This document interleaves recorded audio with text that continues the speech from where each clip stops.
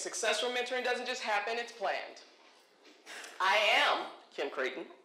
You can follow, find me on Twitter at Kim Crayton1. Um, I have a podcast called the Community Engineer Report where I talk about inclusion and diversity from a business or economic perspective. I have two events coming up in um, 2018. There's going to be Inclusion Symposium, which is for people who are working in inclusion and diversity to come together and network, and it's going to be a retreat, and then I'm doing an inclusion conference. I always put this out here because as a black woman in tech, I have to prove to you that I know what the hell I'm talking about. So um, I'm currently finishing up a master's in training, uh, well, I have a master's in training and development, uh, finishing up my doctor's.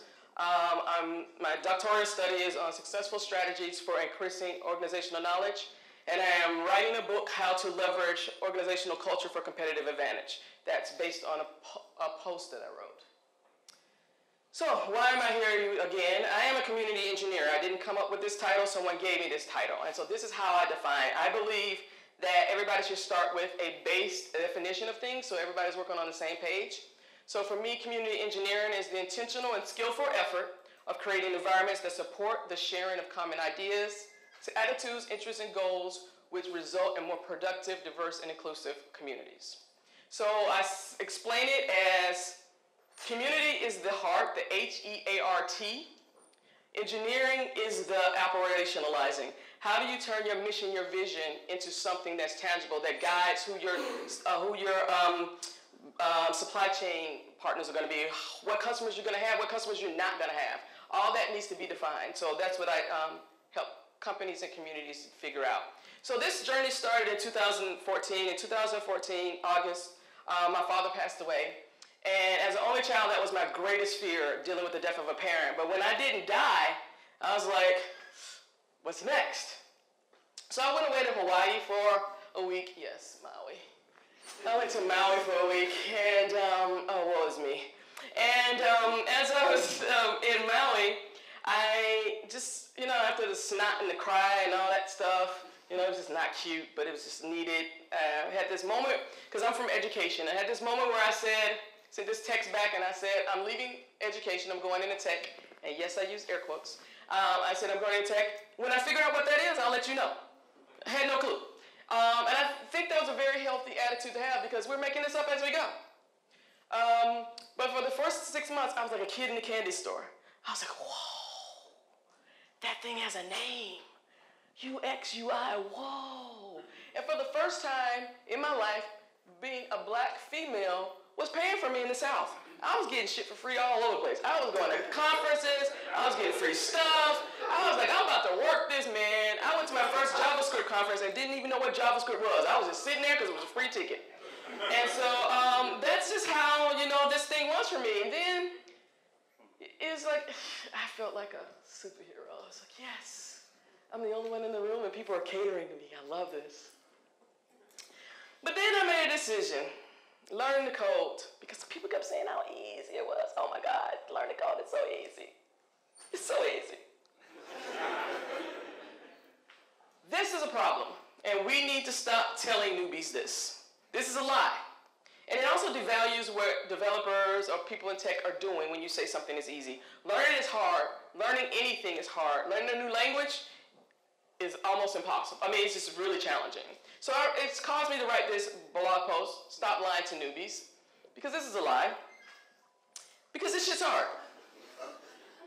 And then I started thinking, uh, again, I'm still investigating, what does this tech thing mean to me? I was that person who would watch the Apple keynote, not just for the products, but to hear why they didn't do something or why they did do something, or if I felt like I needed a um, website for something, because I've always had this entrepreneurial spin, I just pick out a YouTube video and follow bit of a WordPress website. So I knew I had a more, more than consumer interest, but I didn't understand that I could even be a producer. That was, had never even crossed my mind. And so what the ongoing mantra is, is, oh my God, this is so great, but we can't find anybody. Oh my God, I just can't find any good developers. Oh, oh, it's just, I'm so sick of people whining about this. It's like, oh, you know, this is great, but we just can't find anybody. And see, there's a challenge, but the challenge is not the number of newbies coming into this field. Because let's, let's be honest.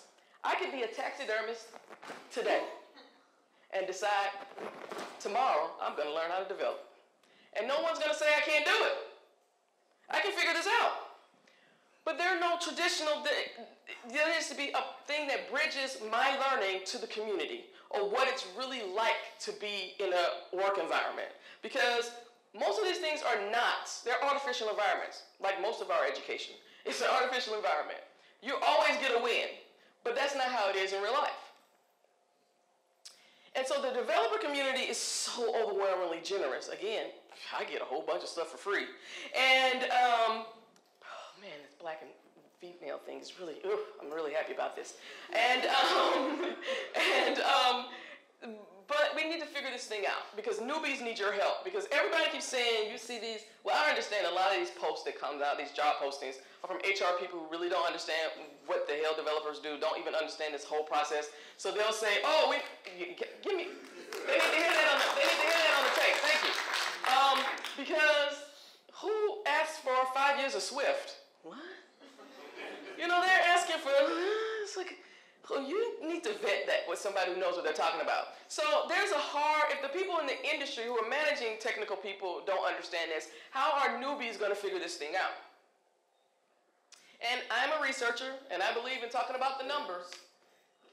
It's costing businesses. If, you, you, if you're in your businesses, you know how much it costs you guys to recruit, train, and, and, and, and, and bring somebody over so that, and get them to a level that they can actually participate or actually be provide any value to, I want I'm being careful about that because they bring value in other ways, but providing value to the code base or whatever the thing there is.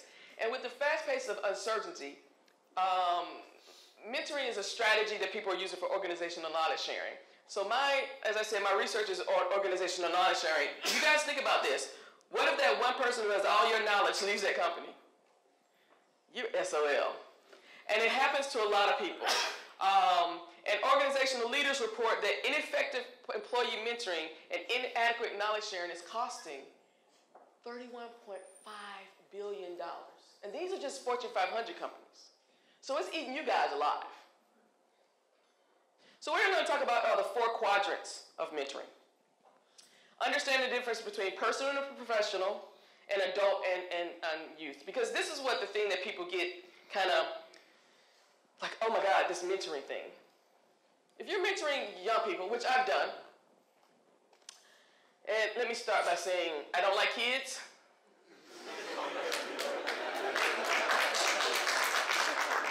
and as an educator, I damn sure don't like your kids. you guys suck as parents. You need to stop telling your children how special they are because they're only special to you. Um, because they walk into my classroom like, oh, no, no, you're not. Let's bring that ego down a bit because you're not.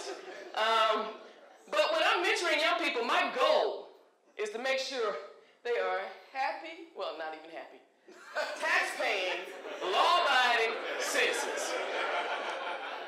Oh yeah, a lot of them are happy. They, they, they're happy with me five years after the fact. Um, they come on my Facebook, oh, Miss Crayton, thank you for telling, yeah, because I ripped you a new butt, didn't I? I just really, because and when I was ed- ed- educated, my goal was I could really honestly could care about the math, science, social studies, and somebody with way better skills could do that for you. What I was doing was helping you prepare for the real world. So I was giving you lessons that was going to kick you square in your butt because your parents were rescuing you every time you did something. You don't have coping skills. You're not critically thinking. You're just a pile of nothing. And it's like, dudes, and I was a high school teacher. And so it was like, oh, oh, oh. And so it's like, I don't even care what people like, when I do inclusion and diversity, people like, oh, aren't you scared about trolls? I was a high school teacher. what can these people say to me? And I'm a certified special needs teacher. I'm good. I have all of this. But so that's the thing when you're dealing with young people, it's about them. It's not about you. It should not be about you. It's about giving them what they need. But on the other hand, when it's an adult relationship, mentoring is focused on usually something specific. Even though it's very nebulous, it's about a career change, a career goal, advancing professionally, that kind of thing. And it's focused on how I get better at doing these things. And um, interesting, as you know, a mentor can switch, a person can be in the role of mentor at some point. They could be a role of mentee, or they could be both. It could be two people sitting at a table who one person understands this concept and the other person, and they just go back and forth and they help each other. Personal. Whew. This is what scares people. Because when you're dealing with a personal mentorship relationship, it's personal. And you just can't extricate yourself out of those situations. You can't just say, whew, I see you have suicidal thoughts, but I got a dinner um, a reservation that I'm trying to make. So uh, can we put a pin in that for a minute? Can we just put that on the whiteboard there? Um, and so that's what personal mentoring is. And it's, it's all over the place. When I was mentoring young people, I realized that it wasn't just them that I had to mentor, because exactly when I went home, I was like, damn, I got to mentor these people too. Sheesh. Because the parents, I mean, these kids are getting these babies from the parents, so I'm doing something I want to be valuable. I got to change these knuckleheads so you don't mess up what I'm doing over here. But professional mentoring is something else. It should be seen, it could be an official, unofficial mentoring program or apprenticeship programs. That's what we need to get back to. We need these apprenticeship programs because we can do well-established goals and objectives. And this is how mentoring is planned. You need to have well-established goals and objectives. So this, we're going to stay in the adult and professional area of this. So let's talk about, first of all, what mentoring is not. Mentoring is not slack. It is not stack overflow. That is, my house is on fire, I need to put it out. So that's why people use Stack Overflow or um, Slack or other these, I'm solving a problem now. That's not what mentoring is. Mentoring is not casual. Um, I remember several times being on Stack Overflow because Atlanta has a community called Tech uh, 404, and I asked a question, and I'm changing my code, I'm going through it, we're working, and all of a sudden the person disappears. I don't know if they dropped dead, they got off work, whatever it is. But you, I've changed my whole code base, and I don't, and it's just all over the place. So I have to start over again. You don't just drop somebody if you're mentoring. You just don't say, oh, time for lunch, gotta go. Um, and it's and it's not static, it evolves. It's a relationship. So mentoring is a relationship. And I'm not gonna assume, I'm gonna assume that everybody in here has perfect relationships that they value and care about. I'm just gonna make that assumption. And you know if that's what the case, you put time into those relationships. You respect the people who are part of those relationships. If you're gonna be late, you call, you text, you say, hey, I'm running late if you um, don't get something done that is important to that relationship, you actually um, say, hey, I'm not going to, you give them advance warning. You just don't show up. This is what um, mentoring is. It's personal. It's a commitment, and it can be professionally, um, developmentally. My, I mean, it's such a shift when someone become gets mentored because what the mentor is doing is providing information to those things that most people particularly newbies, you don't know what you don't know. You don't even know. If you don't know what you don't know, you don't even know the questions to ask that make sense that you don't even don't know because they're not even there. And so what happens is, if I'm working on something, if the mentee's working on something, the mentor can come in and say, oh, this is the thing, this is that thing, and this is how we do it, or this is how you look for it, and that kind of thing. Because you don't even know that you don't even know. And for you, and I'm going to talk about this Stack Overflow thing again. Please be nicer to the newbies on Stack Overflow. Because most people get to Stack Overflow, particularly newbies, because everybody says Google it. And what comes up first? Stack Overflow. So they don't know the rules because they can just open, just go into the Stack Overflow is not a closed community where somebody will put, um, will say, uh, these are the rules, this is how we do things. They don't know. If you can't answer the question, just bypass. No one needs to hear your, just shut up. No one needs that. So the factors, um, uh, mentoring. You have to understand the role of a mentor. You're uh, providing vocational support, psychosocial support, and role modeling. Uh, you're the only person who can give, uh, a, and so you need to also evaluate your motivation. And I say this because a bad mentor is worse than having no mentor at all. If you don't like working with people, if you don't have patience, if you don't understand that you have to change how you intake knowledge or information to um, to have it focused on the persons, how they learn and take. You can't do that. Please stay away from newbies. Find some other way to help. Because learning is difficult enough, and you and it, learners are very vulnerable, and you don't want to be that person who shuts somebody down.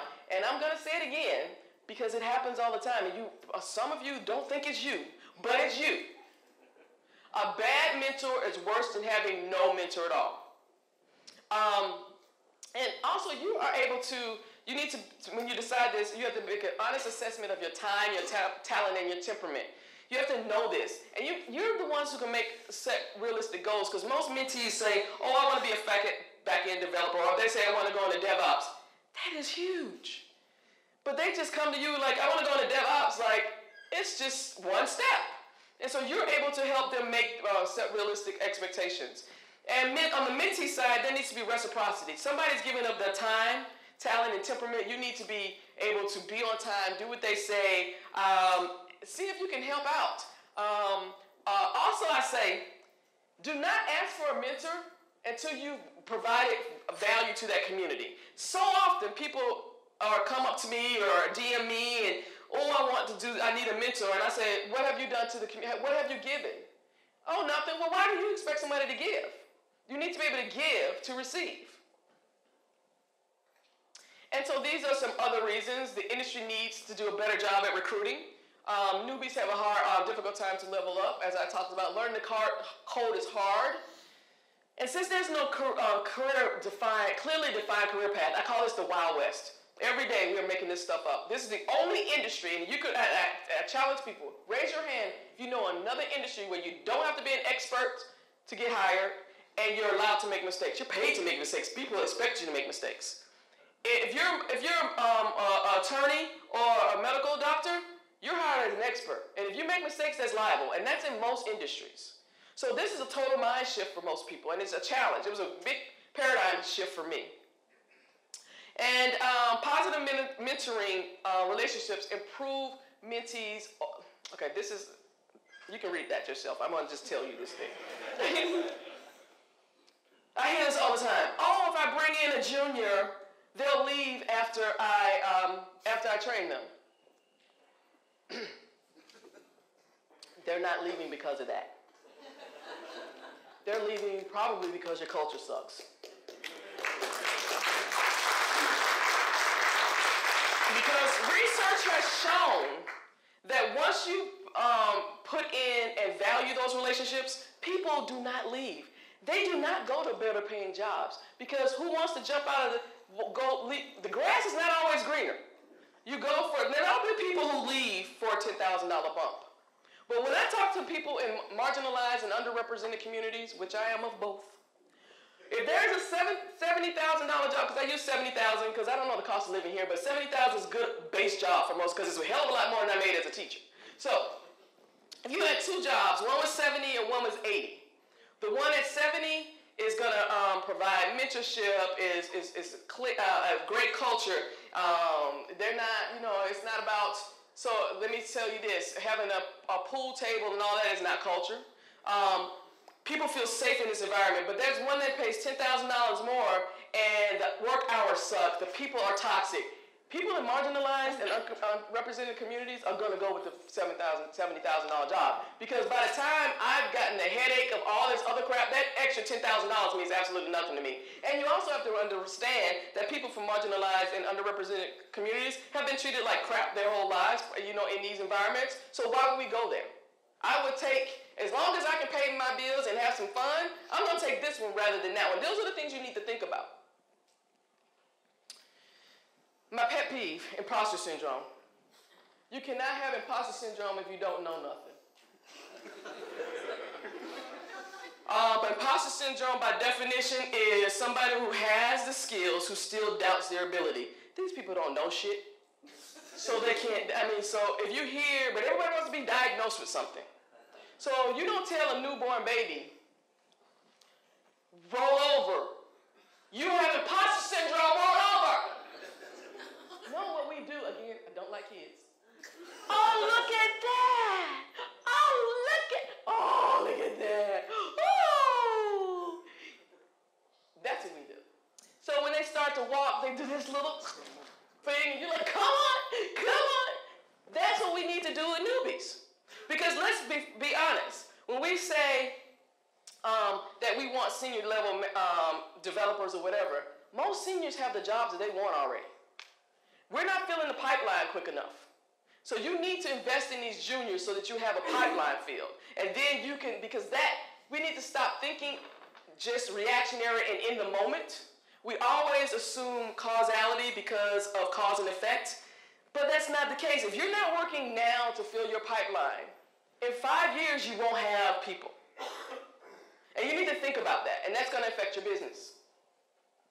So I like to show this um, survey. So, because the common misconceptions are that um, most of these people who are learning to code are, um, you know, they've been doing this since childhood. We know they haven't. Uh, majority of people are just learning. They're just coming out of here learning. Um, and because there's so much free stuff out here, it becomes easy to learn um, until you need to do something with that. Because what you're basically doing, and I'm gonna, I'm not a big proponent of boot camps, and if you run a boot camp, oh well, um, because they don't most boot camps do not have certified educators writing their curriculums. Most boot camps do not have um, policies and processes in place when somebody gets left behind. When I'm paying $15,000, there is no left behind for me. You better figure this out. Um, boot camps, most of these curriculums are focused on how the person who created the curriculum likes to learn, and that's not how everybody likes to learn. Um, most people, they don't have understand learning styles. They don't understand learning theory. So this, these are the things why you need um, people to mentor because most of these people are coming from informal educations. Uh, most of these people are self-taught. And I don't know how they got to over 100 on all this. I, I, have been, my, my percentages I thought were 100%, but uh, if this proves the point that 125% people were successful for mentoring, that's what it is. So, but how do you do this? Project-based mentoring. You do work on projects all the time. If someone says, hey, I want to go into DevOps, raise your hand. Just shout out what's the first thing you would say they need to know. AWS. Who? AWS. So we'll talk about AWS. But we know AWS is huge, right? They're adding stuff seems like overnight. It just, just grows. So what I would do, because that's still too big. Now let's chunk this. We're going to talk about, if you, you need to learn AWS, what's the first thing they need to learn with AWS? Huh? Deploy EC2 instance of audio Ooh, that sounds complicated. All right. So, so then that's what you focus on. And so what you do is just like learning. It's it's a two steps forward, ten steps back. So you'll talk about that, and then they'll do that. And what's the next step that they need to that can connect those two things? Well, hell, if you don't know, how do you? All right. Well, let me give an example. So let's say um, they want to do uh, uh, uh, front-end development. And so we know that front-end development is using HTML, CSS, JavaScript. So what I would do is give them a document with some text in it. Mark this up. How would you mark this up in HTML? I'll start there. Then when they've done it, then you come back and you say, hey, why did you use the H tag, uh, H1 tag here? And have them talk about that because once they talk about it, they learn that. Then you add Let's say um, we're going to make this paragraph green. So now you add one, not all CSS, to this thing. And then you say, okay, so why did you, um, how did you do that? That, that, okay, so now we want you to create um, a button. And then you add that, and, and it's just a button. It's just one thing extra. So we move into the JavaScript part, which is the one button. And then I want you to animate that button or make it click on, click off. Just that one thing and then so you're connecting these things. So they're not getting the full breath, but they're understanding because they're coming back to you and telling you why these things, wh- what they're doing. So I like to um, uh, do a self-assessment. And so quickly, can somebody tell me three strengths and three, if you're, if you're a mentor, what are three strengths that you have and what are three challenges you have as a mentor? Yes? Okay, so that's a challenge. So what is a strength?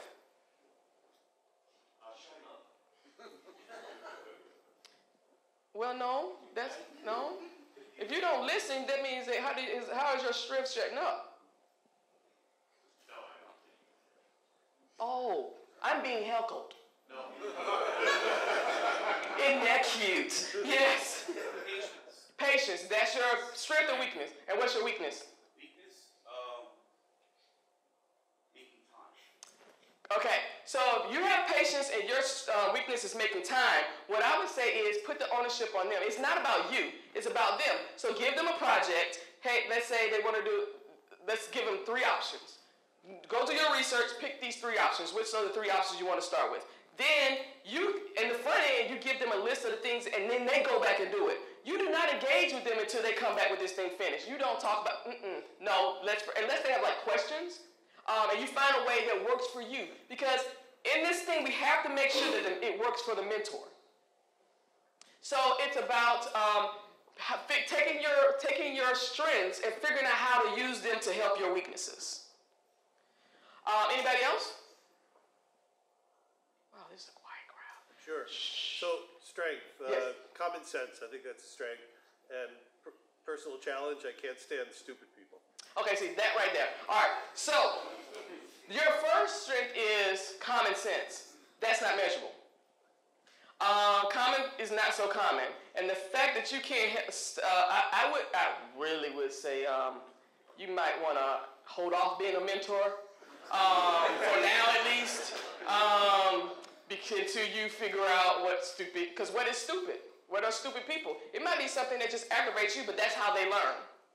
So you need, you would, to be an effective mentor, you need to step out of you and think about how does this person learn? How do they take in information? Because then you will see that they're not so stupid. And they're not asking stupid questions, they're asking questions from uh, their point of view and their perspective. And that's another reason why we need inclusion and diversity efforts to work in this industry. Because when we have different perspectives at the table, it helps us create better products and services. It helps us develop people better. So when you have someone who's a newbie, because they're going to challenge you on why, because you might be using tools five years old. When they ask you why, you need to be able to tell them why, and it needs to make sense because they may have an idea that works better. But because you've been using that tool so long, it pushes you outside your comfort zone, where we all need to be.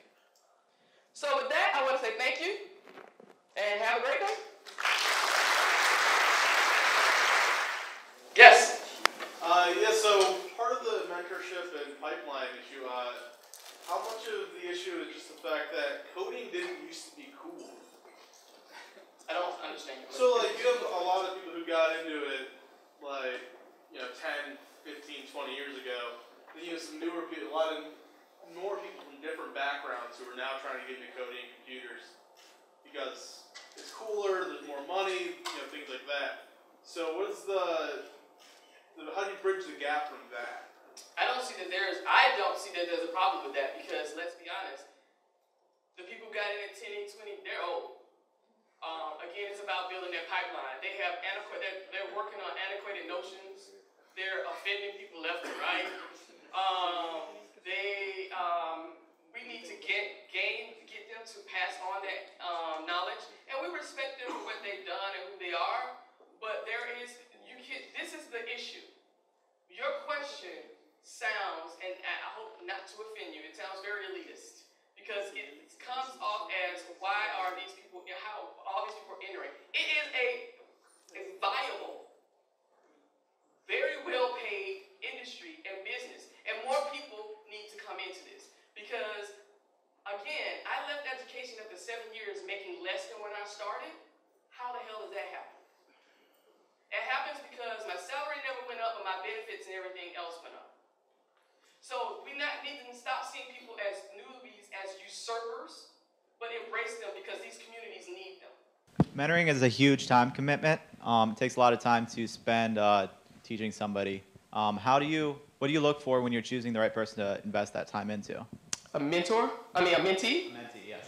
Again, this is why I tell mentees to make sure they give before they ask because it's a relationship. Who wants a relationship with a bad person? So that's what I look for. I look for somebody who, because they've they've been in the community and I've watched their behavior and I've seen that kind of thing, I'm like, okay, I want to invest my time in that. Um, also, there needs to be sometimes you only have, let's say you have a uh, I have six months before the, I know this big project's coming up. These are the things that I can help you with.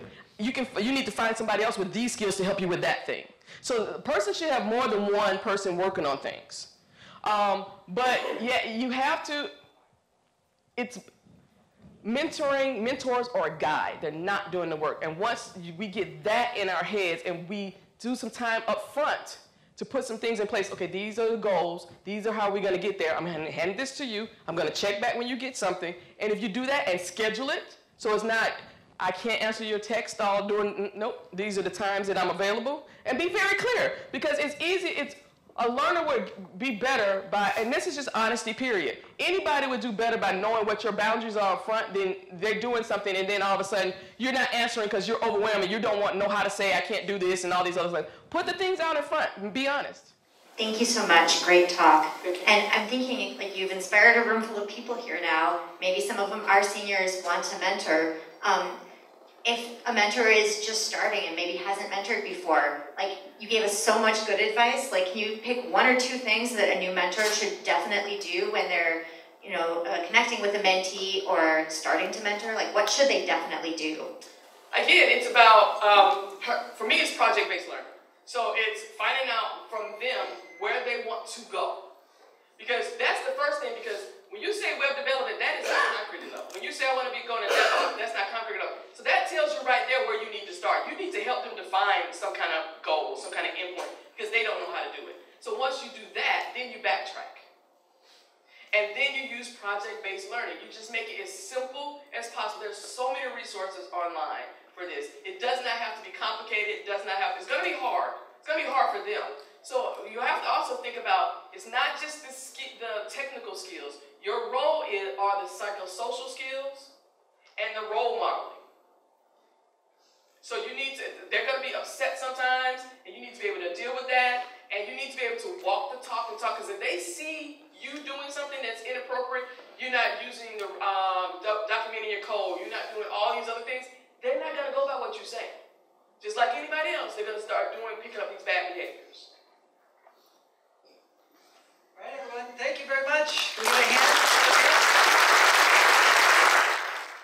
hand.